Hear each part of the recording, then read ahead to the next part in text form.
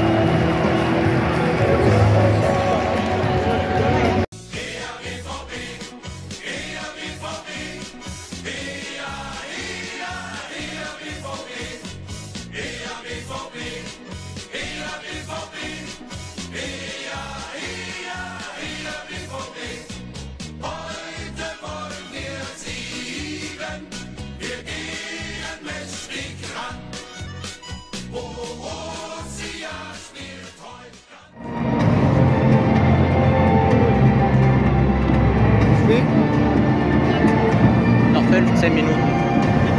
15 Minuten noch.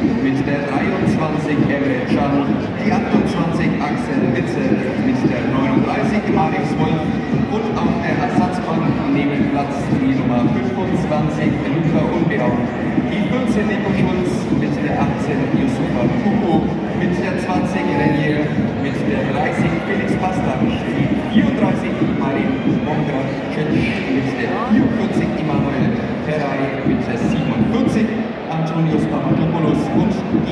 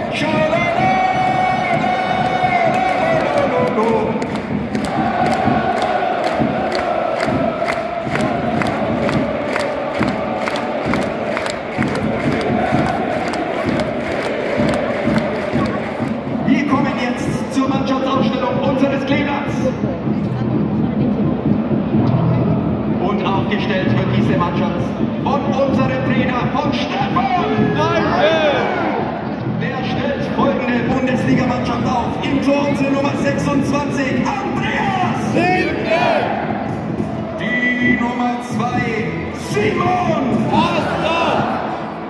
Mit der Nummer 10 unser Kapitän, Branimir. Die Nummer 13,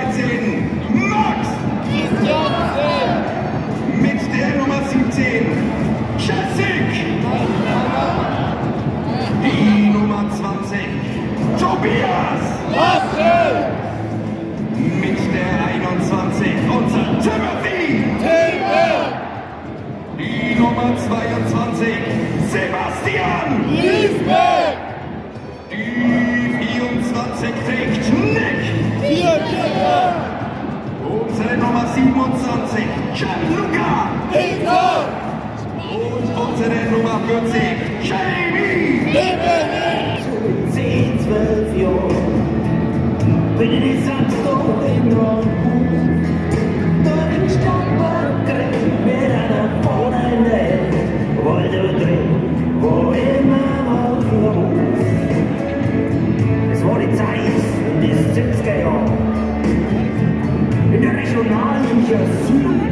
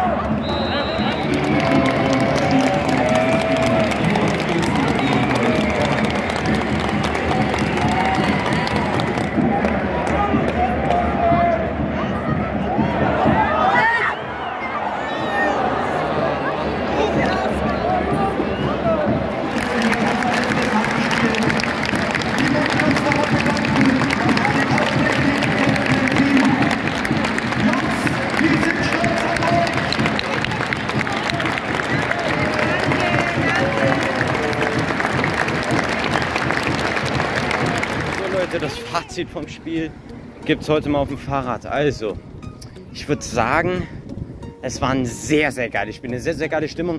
Erste Halbzeit war nicht geil. Nee, da dachte ich mir so, Digga, wenn es so weitergeht, ja, habe ich die Spieler zwar gesehen.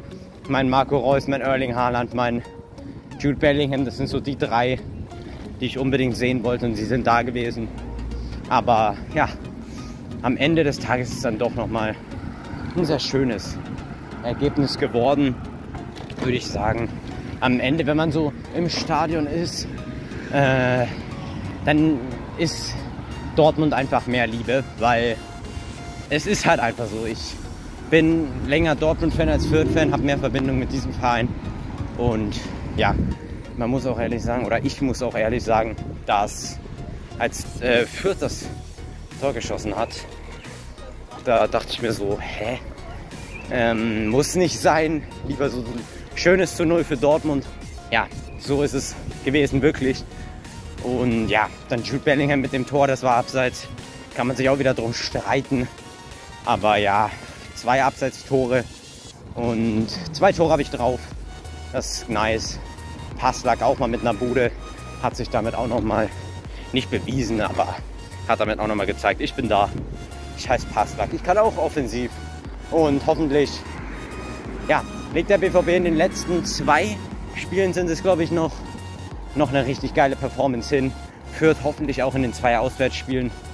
Und ja, es war das letzte Heimspiel. Branimir gut am Ende des Tages oder am Ende des Spiels nochmal Danke an die Kleeblatt-Fans und so weiter gesagt. Marco Meierhöfer war auch noch da, musste mit Krücken aufs Spielfeld, aber hat sich auch nochmal verabschiedet vor der heimischen Kulisse in Bundesliga Nummer 1. Es war eine geile Saison vom Kleeblatt. Heute mehr Borusse gewesen, aber natürlich auch Respekt vom Kleeblatt, die wirklich gut gespielt haben. Nach dem 1:1 Brand direkt mit der Bude, auch eine sehr schöne Bude. Und dann ist das Kleeblatt ein bisschen eingebrochen. Aber ja, schlussendlich geht das 3-1 in Ordnung. Und ja, dann würde ich mich verabschieden vom Vlog. Ich bin raus. Und ciao, ciao.